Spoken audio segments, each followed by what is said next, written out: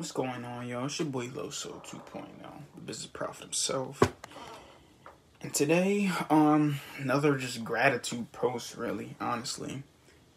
Yo, people are like checking, like for real. And it's crazy because it, it seems like it's getting closer and closer to home. I don't know, like, how many people really are feeling like that lately? You know what I'm saying? Literally, honestly, in the past two weeks, not even not really week and a half, like three people that I actually knew is like or like they're people that they close to like are checking like literally and it's getting like closer and closer like friends that I grew up with um college friends it's like and this is really crazy like and it really makes you really think like yo you gotta really start taking you gotta stop really taking your life for granted.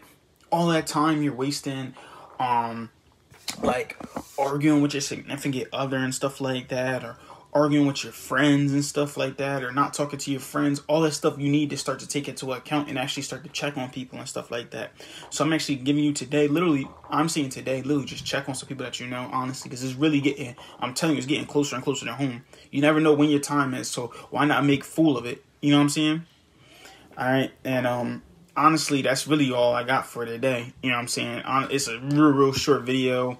Yeah just follow me on the gram at loso 2.0 um, like my Facebook page at Carlos J. Henry.